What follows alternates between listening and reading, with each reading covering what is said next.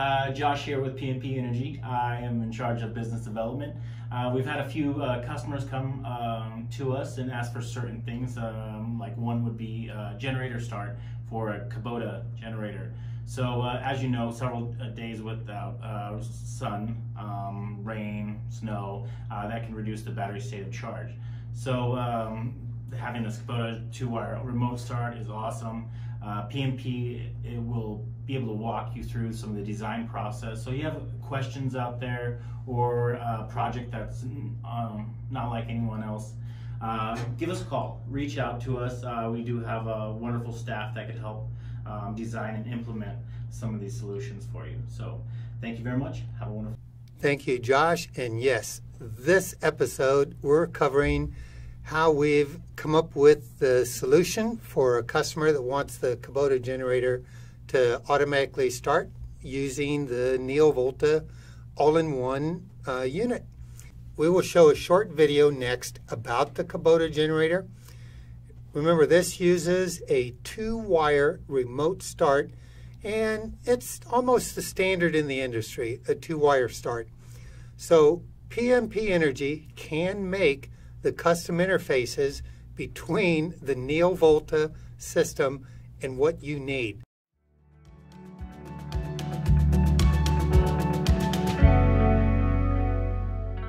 The Kubota GL series generators offer efficient power in the Whisper Quiet compact package. These units range in size from 7 kW to 14 kW output, but today we're going to be focusing on the GL 14000. This unit is rated at 12 kW and maxes out at 14 kW. The Kubota GL 14000 generator is 52 inches long, 26 inches wide, and 36 inches tall. Weighing in at 904 pounds makes it perfect for mounting on a trailer. Through Kubota's easy to use service door, you'll see their own D902 diesel engine powering this generator. With a nine and a half gallon fuel tank, the GL 14000 generator can run at full load continuous for seven hours. The alternator is optimized to generate more magnetic force with fewer turns. This improves long-term reliability and durability. This alternator is coated with an extra layer of varnish to protect it from moisture and to protect it in extreme environments. From this service store, this is where we can perform all of our routine maintenance. Oil gauge, oil filter, oil fill, fuel filter, water tank, battery, and air cleaner. Engine oil and coolant drain extensions are included to help with regularly scheduled changes. On the bottom here, you can see the drains for fuel, oil, and water. Not many other generators in this size range offer this option. Let's close this service door and head over to the control panel over on the front of the generator. From here, you have all of your controls and your electrical hookups. Kubota has really thought this design through and has included nice features not seen in other generators. Features include key switch start, output meter, adjustable voltage regulator, and mains breaker. Below are 120 volt outlets, a 240 twist lock outlet, and direct output hookups. The Kubota GL 14000 generator is the industry leader in providing power for medium to large size construction job sites. To check out a GL 14000 or any of the GL series generators, please contact AIE or any dealer near you. For contact information, see the description below. Here is that contact information that would have been uh, shown below. The website is up above, and that is the actual headquarters in Omaha, their mailing address, phone number. Uh, this particular customer of ours wanted to interface the NeoVolta to a Kubota diesel generator. And we said, yes, we can do that.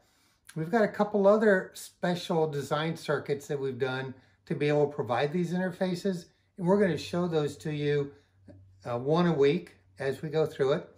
But right now, this particular one is a generator start circuit. And specifically, it's going to allow us to interface to the Kubota.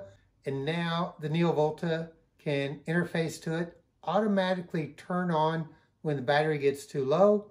The battery gets charged up enough, automatically turns off, everything's working, okay? So this is your deep dive into more of the electronics and the circuits of how to make your special requirements work.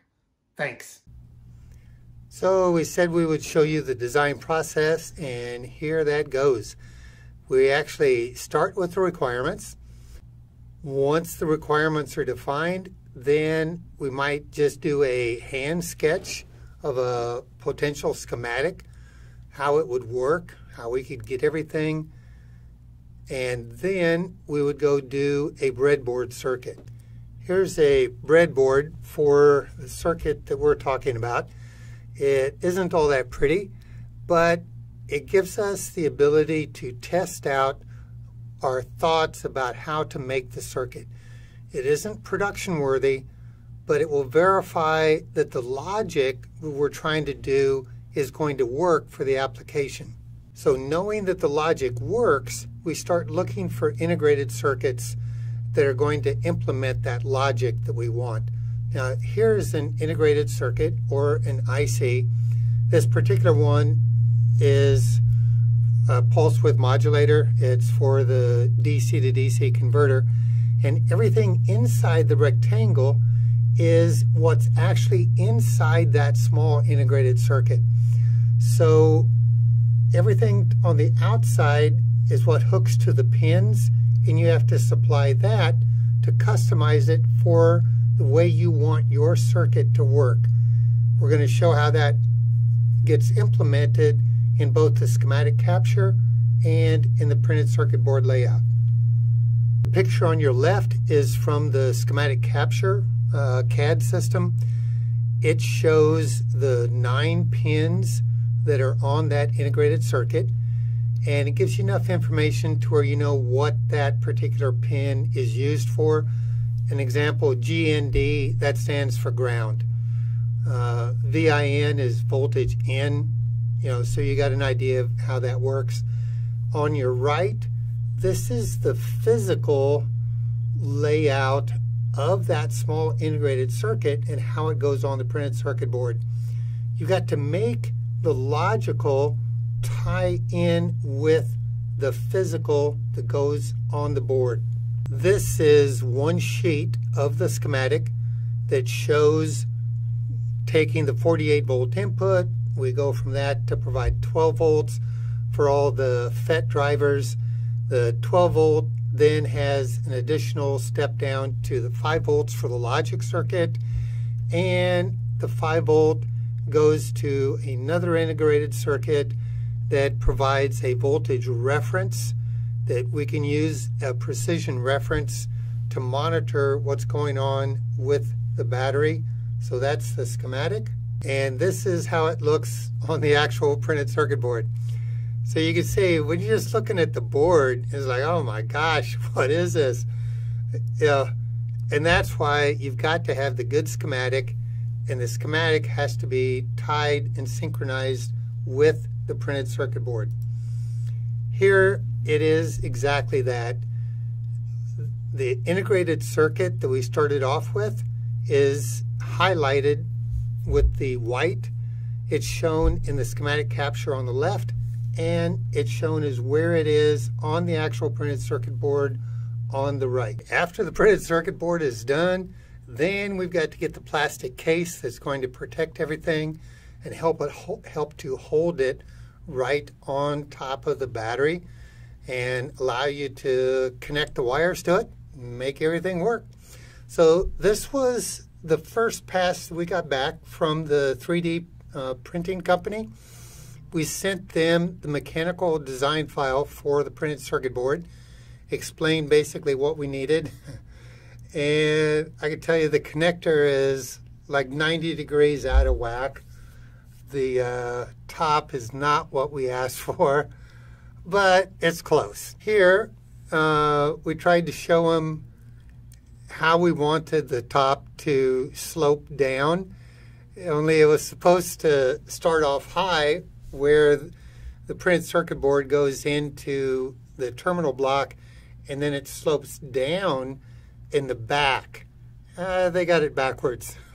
so here it is. Here's the proto with the printed circuit board going out to the right and on the back, the left hand side, that's where you can see the WAGO connector. It's a three terminal connector, can take a wide range of wire sizes, I think from like 24 gauge through uh, 12 gauge, if I believe.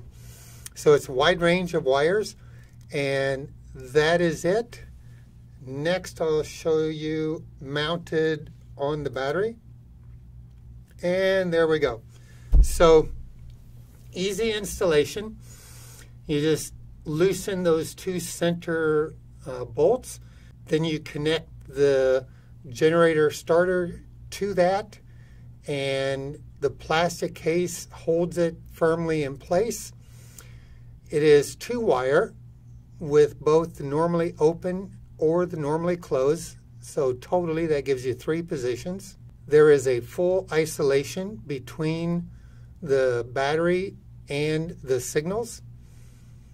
The wires going to the generator can have up to 48 volts DC or 120 volts AC on them at the generator side and everything is working fine for that.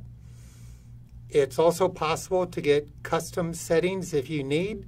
Uh, just give us a call and I bet we can take care of that for you. So here's our website www.pmp-energy.com. We would love to hear from you. Send us your comments or questions. Uh, email your questions to Mike at pmp-energy.com. That's me. And we are using these YouTubes to provide answers to a lot of the frequent questions we get. If you send us a question and we use your question on one of our YouTube videos, we'll send you a PMP Energy hat. Okay? So I hope you got some good news out of this and you understand that PMP Energy can do more than the normal uh, suppliers. We can actually help you provide the solutions that you need. Thanks.